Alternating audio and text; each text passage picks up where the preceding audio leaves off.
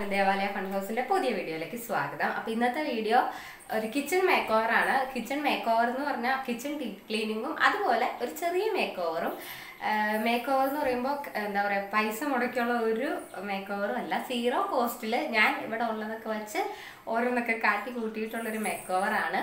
അപ്പോൾ നിങ്ങൾക്ക് എല്ലാവർക്കും എന്തായാലും വീഡിയോ ഇഷ്ടമാവെന്ന് വിചാരിക്കുന്നു. അതുപോലെ തന്നെ എനിക്ക് കുറച്ച് ലിമിറ്റേഷൻ ഒക്കെ ഉണ്ട്. എന്ന് വെച്ചാൽ ആകെ ചെറുതല്ലേ. ഇവിടെ അങ്ങനെ അധികം ഡെക്കറേഷനൊന്നും നമുക്ക് അങ്ങനെ വയ്ക്കാനുള്ള സ്പേസ് ഒന്നും ഇല്ലല്ലോ എന്നാലും എന്നെ കൊണ്ട് പറ്റുന്ന രീതിയിൽ എന്തെങ്കിലുമൊക്കെ ഒരു മേക്ക് ഓവർ നടത്തണം എന്നാണ് ആഗ്രഹം. അപ്പൊ നമുക്ക് കിച്ചൺ ക്ലീനിങ്ങും കബോർഡൊക്കെ കംപ്ലീറ്റ് ക്ലീൻ ചെയ്യാനുണ്ട് എല്ലാം റീഅറേഞ്ച് ചെയ്യാനുണ്ട്. അതുപോലെ അത് കഴിഞ്ഞിട്ട് നമുക്ക് കംപ്ലീറ്റ് ആയിട്ട് ഒരു മേക്ക് ഓവറും കൊടുത്തേക്കാം കിച്ചണൊക്കെ കാണുമ്പോൾ ഒരു അടിപൊളിയൊക്കെ ആക്കാലോ.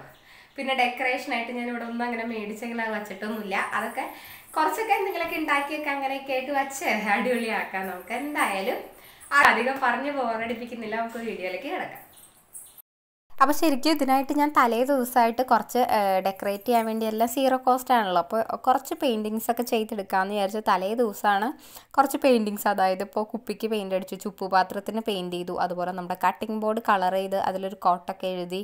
നമുക്ക് കാണുമ്പോൾ നല്ലൊരു പോസിറ്റീവ് എനർജി തോന്നാനായിട്ട് ശരിക്കും എനിക്ക് അടുക്കളയിൽ കയറുമ്പോൾ ഭയങ്കര ഒരു സന്തോഷം ഫീൽ ചെയ്യുന്നുണ്ട് അതിന് ശേഷം കേട്ടോ അപ്പോൾ അങ്ങനെ അങ്ങനെ കുറച്ച് കുറച്ച് കുറച്ച് കാര്യങ്ങളാട്ടോ ഞാൻ എന്താ പറയുക ഉപയോഗിച്ചിട്ടുള്ളത് ആ കിച്ചണിന് ഒരു മേക്ക് ഓവർ വരാനായിട്ട്. പിന്നെ ഒരു പെയിന്റിങ്ങും കൂടി വരച്ചെടുത്തു. ഒരു കെറ്റിലിന്റെയൊക്കെ പടമായിട്ട് കുറച്ച് പൂക്കളൊക്കെ ആയിട്ട് എന്താ പറയുക ഒരു കാർഡ് ബോർഡിൽ നമ്മുടെ എ ഫോർ സൈസ് പേപ്പറിൽ പെയിന്റിംഗ് ഒക്കെ വരച്ചിട്ട് അങ്ങനെ എടുത്തിട്ടുണ്ട്. അപ്പോൾ ഇതിന്റെയൊക്കെ ഫുൾ മേക്ക് ഓവർ എന്താവും എന്ന് അറിയണമെങ്കിൽ ശരിക്കും ലാസ്റ്റ് ആട്ടോ മനസ്സിലാവുള്ളൂ. കാരണം ജസ്റ്റ് ഒരു മനസ്സിൽ തോന്നിയ ഐഡിയ വെച്ച് അങ്ങനെ ചെയ്തു. എല്ലാം കൂടി വയ്ക്കുമ്പോഴാണല്ലോ ശരിക്കും നമുക്കത് ഭംഗിയാണോ? കൂടി പോയോ എന്നൊക്കെ മനസ്സിലാവുക. അപ്പം അങ്ങനെ ഒരു പെയിന്റിങ്ങും കൂടി എന്റെ ഇടയിൽ വരച്ചെടുക്കുകയാണ്. അപ്പോൾ നമ്മുടെ കിച്ചണിന്റെ അവസ്ഥ ഇപ്പോൾ കേട്ടോ ഇതിപ്പോൾ ക്രിസ്മസിന്റെ അന്നാണ് ഞാൻ ഷൂട്ട് ചെയ്യണത് അപ്പോൾ അന്ന് വൈകുന്നേരമാണ് ഉച്ചയ്ക്ക് ഫുഡൊക്കെ കഴിച്ച് ഒന്നും ക്ലീൻ ആക്കിയില്ല. മിന്നൽ മുരളി സിനിമ കണ്ടുകൊണ്ടിരിക്കുകയായിരുന്നു കേട്ടോ അപ്പം അന്ന് വൈകിട്ട് ചെയ്യണമെന്ന് വിചാരിച്ചായിരുന്നു. ഇതിപ്പോൾ ഓൾമോസ്റ്റ് സ്റ്റാർട്ട് ചെയ്തത് സന്ധ്യയായപ്പോഴാണ്. അത്യാവശ്യം ഇരുട്ടായി തുടങ്ങി. അപ്പോൾ ആദ്യം തന്നെ എല്ലാ പാത്രവും എടുത്ത് ഡൈനിങ് ടേബിളിലേക്ക് മാറ്റി വെച്ചു. എന്നിട്ട് ഷെൽഫിൽ ഓരോന്നായിട്ട് എടുത്ത് പുറത്ത് വെച്ചിട്ട് ഷെൽഫൊക്കെ നല്ലപോലെ തുടച്ചിട്ടാണ് എല്ലാം റീഅറേഞ്ച് ചെയ്ത് തിരിച്ചു വെച്ചത്. അപ്പോൾ ഞാൻ ഈ പാത്രങ്ങളെല്ലാം ഇടയ്ക്കിടയ്ക്ക് തീരുന്ന അനുസരിച്ച് ഇങ്ങനെ കഴുകി വെക്കുന്നതുകൊണ്ട് എല്ലാം കൂടി അങ്ങനെ കഴുകാനായിട്ടൊന്നും ഉണ്ടായില്ല. പക്ഷേ കബോർഡൊക്കെ തുടയ്ക്കാനുണ്ടായിരുന്നു. കാരണം ഉള്ളിലൊക്കെ പൊടി ഉണ്ടാവുമല്ലോ.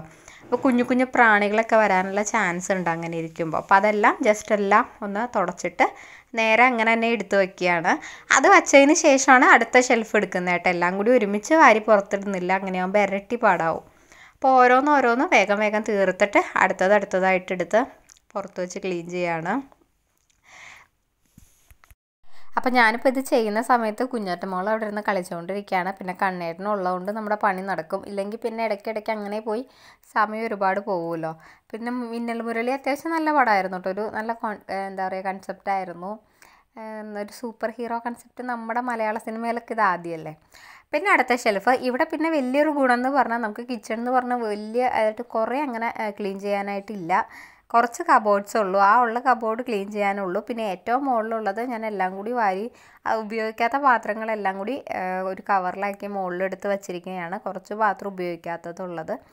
ആവശ്യമുള്ളത് മാത്രമേ ഞാൻ താഴെ വെച്ചിട്ടുള്ളൂ. അതാവുമ്പോൾ ഒന്നാമത് സ്ഥലം കുറവാണ്. അപ്പോൾ എല്ലാം കൂടി ആവുമ്പോൾ അതും ബുദ്ധിമുട്ടാവും.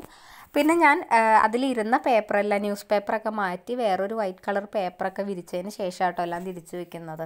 അപ്പം അങ്ങനെയാകുമ്പോൾ എന്തെങ്കിലും പൊടികളൊക്കെ ഉണ്ടെങ്കിൽ ആ പേപ്പർ മാറ്റുമ്പോൾ നമുക്കത് എളുപ്പമാവും അല്ലെങ്കിൽ അതിൽ ഇപ്പോൾ അവിടെ ഇരിക്കണോടത്ത് കറ പോലെയൊക്കെ പിടിച്ചിരിക്കും.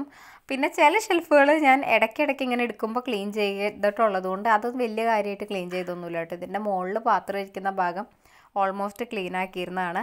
പിന്നെ ഏറ്റവും കൂടുതൽ പണി കിട്ടിയത് നമ്മൾ ഈ സ്പൂണൊക്കെ വെക്കണോടത്തായിരുന്നു അവിടെ അത്യാവശ്യം ഇടയ്ക്കിടയ്ക്ക് വെള്ളം വീഴുമല്ലോ ചെറിയ വെള്ളമാണെങ്കിലും പറയാണ്ട് എന്തെങ്കിലുമൊക്കെ ഒഴുകി വീഴുമ്പോൾ തുരുമ്പൊക്കെ ചെറുതായിട്ട് വന്നിട്ടുണ്ടായിരുന്നു. അപ്പോൾ എല്ലാം ക്ലീൻ ചെയ്തെടുത്ത ഇച്ചിരി നേരായി. പിന്നെ ഞാൻ അവിടെ പേപ്പർ വിരിച്ചതിന് ശേഷമാണ് പിന്നെ സ്പൂണൊക്കെ വച്ചത് കേട്ടോ. അപ്പോൾ അങ്ങനെ ആകുമ്പോൾ ഇനി അത് വെള്ളമൊന്നും വീഴാണ്ട് അതുപോലെ പൊടിയൊക്കെ ഉണ്ടെങ്കിൽ എനിക്ക് ആ പേപ്പർ മാറ്റിയിട്ട് ജസ്റ്റ് വൈപ്പ് ചെയ്തെടുത്താൽ മതി. അതാവുമ്പോൾ ശരിക്കും നമുക്ക് ഭയങ്കര ഉപകാരമായിരിക്കും കേട്ടോ എനിക്ക്. അല്ലാണ്ട് ഇടുന്നതിലും ശരിക്കും ഉപകാരമായിട്ട് തോന്നിയത് ആ പേപ്പർ വിരിച്ച് വെച്ചപ്പോഴാണ്. പിന്നെ അതെല്ലാം കഴിഞ്ഞ് താഴത്തെ കബോർഡ് സിങ്കിന്റെ താഴെ ഞാൻ ക്രിസ്മസിന്റെ അന്ന് രാവിലെ ഞാൻ ഇതുപോലെ ഫ്രിഡ്ജ് ക്ലീൻ ചെയ്തിരുന്നു. അന്നത്തെ രാവിലത്തെ വ്ളോഗിലൊന്നും കാണിച്ചില്ല എന്നുള്ളൂ. ഞാൻ മുകളിൽ നിന്ന് താഴെ വരെ ക്ലീൻ ചെയ്തു. ഫ്രിഡ്ജ് ഫുൾ ക്ലീൻ ചെയ്തിരുന്നു. ഫ്രിഡ്ജ് നീക്കി ഫ്രിഡ്ജ് ഇരുന്ന ഭാഗമൊക്കെ ക്ലീൻ ചെയ്തിരുന്നു. അപ്പോൾ ആ സമയത്ത് സിങ്കിന്റെ താഴെയൊക്കെ ക്ലീൻ ചെയ്തതായിരുന്നു കേട്ടോ. അത് കഴിഞ്ഞതിന് ശേഷമാണ് അയ്യോ ഞാൻ ക്ലീനിങ് വീഡിയോ എടുക്കാൻ പ്ലാൻ ചെയ്തിട്ടുണ്ടല്ലോ എന്ന് വിചാരിച്ചത്. അപ്പോഴേക്കും അതൊക്കെ ചെയ്ത് കഴിഞ്ഞു. പിന്നെ ഉള്ളത് നമുക്ക് സ്റ്റൗ ക്ലീൻ ചെയ്ത് കഴിഞ്ഞാൽ പിന്നുള്ളത് ജനലാണ്. അതുപോലെ സൈഡിലുള്ള ടൈലും എല്ലാം നമുക്ക് ക്ലീൻ ചെയ്തെടുക്കാനുണ്ട്.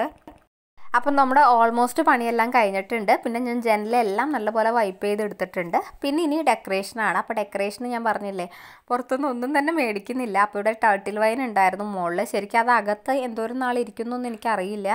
അത് പുറത്ത് ഫ്രണ്ടിൽ വച്ചിട്ട് നല്ല പോലെ വെയിലടിക്കുന്ന സ്ഥലമായതുകൊണ്ട് തന്നെ അതാകെ വാടി മഞ്ഞ കളറിലൊക്കെ ആയിട്ടാണ് ഇരുന്നത്. അപ്പം ഞാൻ കുറച്ച് ദിവസം അകത്ത് വയ്ക്കാം പിന്നെ ഇടയ്ക്കിടയ്ക്കൊന്ന് വെയിൽ കൊള്ളിക്കാനായിട്ട് പുറത്ത് വയ്ക്കുക എന്നുള്ള പ്ലാനിൽ വെച്ചതാട്ടോ കുറച്ച് കഴിയുമ്പോൾ മണി പ്ലാന്റ് വെക്കണം എന്നാണ് എന്റെ ആഗ്രഹം അവിടെ. അപ്പോൾ ഞാൻ മണി പ്ലാന്റ് പറഞ്ഞാൽ നല്ല പോലെ വളർന്നു വരുന്നുണ്ട്. അപ്പോൾ അതെടുത്ത് വെക്കണം എന്നാണ് വിചാരിച്ചിരിക്കുന്നത് അതുപോലെ ഇവിടെ ഇരുന്ന ട്രേ ആണ്. ട്രേ ജസ്റ്റ് ഒന്ന് പെയിന്റ് അടിച്ചിട്ട് അതിലൊരു ഭംഗിയിൽ ഇങ്ങനെ ഓരോന്നൊക്കെ എഴുതിയൊക്കെ വെക്കുകയാണ്.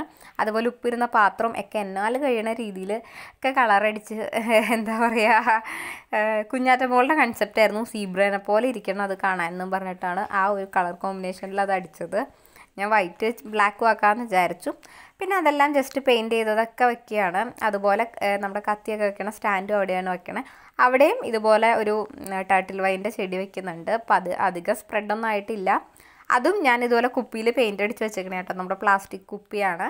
പിന്നെ അതുപോലെ there is always time for coffee എന്നും പറഞ്ഞ് ജസ്റ്റ് പെയിന്റിങ് ആട്ടോ. അത് ജസ്റ്റ് ഒരു പേപ്പറിൽ പടം വരച്ചിട്ട് ഒരു കാർഡ് ബോർഡിൽ ഒട്ടിച്ചെടുത്തിരിക്കുന്നതാണ് പിന്നെ ഇനി നമുക്കിവിടെ ഡെക്കറേഷന് തൂക്കാൻ എന്ന് പറഞ്ഞാൽ ആകെ ഈ ഒരു വോൾ മാത്രമേ ഉള്ളൂ. അപ്പോൾ അവിടെ കണ്ണേട്ടനാണ് എന്നെ ഹെൽപ്പ് ചെയ്യണേ കേട്ടോ. ഹോളൊക്കെ അടിച്ച് തരുന്നത് എനിക്ക് ഹോളൊന്നും അടിക്കാനുള്ള ഇത് അങ്ങനെ പറ്റില്ലല്ലോ. അപ്പോൾ കണ്ണേട്ടനാണ് അവിടെ ഹോളൊക്കെ വെച്ച് തരുന്നത് പിന്നെ അവിടെ ഫസ്റ്റ് ഡെക്കറേഷനായിട്ട് തൂക്കിയിരിക്കണത് നമ്മുടെ കട്ടിംഗ് ബോർഡാണ് കട്ടിംഗ് ബോർഡ് ഈ വെള്ളം വീണ് വീണ് അത് അത്യാവശ്യം ഒന്ന് പൊട്ടി തുടങ്ങി അതിൽ ഉറുമ്പൊക്കെ വന്നിരിക്കാൻ തുടങ്ങി. അപ്പം ഞാൻ വിചാരിച്ചു അതൊരു ഡെക്കറേഷൻ പീസാക്കി മാറ്റാം. പിന്നെ ലിമിറ്റഡ് ആയിട്ടുള്ള സാധനങ്ങളാണ് ഇവിടെ ഉണ്ടായുള്ളൂ. അപ്പോൾ അത് വെച്ച് ഒപ്പിക്കണമല്ലോ. പിന്നെ അതുപോലെ രണ്ടും ഒരേപോലത്തെ പ്ലാസ്റ്റിക് ബോട്ടിൽ കിട്ടിയപ്പോൾ അതും ഇതുപോലെ പെയിന്റ് അടിച്ച് അതിൽ കുറച്ച് വെള്ളത്തിലാട്ടോ രണ്ട് മണി പ്ലാന്റ് തൂക്കിയിരിക്കുന്നത് അതുപോലെ ആ സ്റ്റാൻഡും ഇതുപോലെ പണ്ട് ഇവിടെ ഞാൻ പുറത്ത് ചെടി തൂക്കാനായിട്ട് ഇങ്ങനെ കെട്ടി വെച്ചിരുന്നതാണ് ആ പ്ലാന്റും അതുകൂടാതെ ഒരു പൊട്ടിയൊരു പ്ലേറ്റ് ഉണ്ടായിരുന്നു. അതിലും ബ്ലൂ കളർ പെയിന്റ് അടിച്ച് ഒരു ക്ലോക്കിന്റെ തീമൊക്കെ വരച്ച് ഒരു കോട്ടൊക്കെ വരച്ചാണ് അത് അവിടെ വെച്ചിരിക്കുന്നത് പക്ഷെ അത് അല്പം നേരത്തേക്കേ ഉണ്ടായുള്ളൂ. അപ്പോൾ കുഞ്ഞാറ്റമ്മക്ക് അത് ബെഡ്റൂമിൽ വെക്കണം എന്നും പറഞ്ഞ് അവൾ ബെഡ്റൂമിലേക്ക് കൊണ്ടുപോയി. അപ്പോൾ ഞാൻ അവിടെ വേറൊരു എന്താ പറയുക ഒരു പൂവിന്റെ ഇതാണ് ഇപ്പോൾ വച്ചിരിക്കുന്നത് കേട്ടോ. അപ്പോൾ അത് ഞങ്ങൾക്ക് ഇനി വരുന്ന വ്ളോഗിൽ കാണിച്ചു തരാം. അന്നൊരു ദിവസം അതവിടെ ഉണ്ടായിരുന്നു. പിറ്റേ ദിവസം അത് അവിടെ നിന്ന് മാറ്റി. അപ്പോൾ ഈ കുഞ്ഞു ഡെക്കറേഷൻ എങ്ങനെയുണ്ട് എന്നൊക്കെ പറയുക. അപ്പോൾ ഈ സ്റ്റാൻഡിൽ വെക്കാൻ ഒന്നും ഇല്ലല്ലോ എന്ന് വിഷമിച്ചിരുന്നപ്പോഴാണ് കുഞ്ഞാന്റെ ഒരു കുഞ്ഞു പാവേനെ കിട്ടിയത്. അപ്പോൾ അതും കൂടി ആയപ്പോൾ നല്ല ക്യൂട്ടായി ബ്യൂട്ടിഫുള്ളായി നല്ല ഭംഗിയുണ്ടല്ലേ? അത് കഴിഞ്ഞ് പുറത്തിരുന്നൊരു മണി പ്ലാന്റും കൊണ്ടുവച്ചു അന്ന് വെള്ളം ഒഴിക്കാത്തതുകൊണ്ടാണ് പാവം വാടി ഇങ്ങനെ നിൽക്കണത്. അപ്പോൾ അതും കൂടി വെച്ച് കഴിഞ്ഞപ്പോൾ ഓൾമോസ്റ്റ് എല്ലാം ഞാൻ ഫിനിഷ് ചെയ്തു. അപ്പോൾ നിങ്ങൾ എങ്ങനെയുണ്ടെന്ന് എന്തായാലും കമന്റ് ബോക്സിൽ പറയാം. നിങ്ങൾക്ക് ഇഷ്ടമായോന്നോ ഇഷ്ടമായില്ലെങ്കിൽ എന്തെങ്കിലും ചേഞ്ചസ് വരുത്തണമെങ്കിലൊക്കെ നിങ്ങൾക്ക് കമന്റ് ബോക്സിൽ അറിയിക്കാം.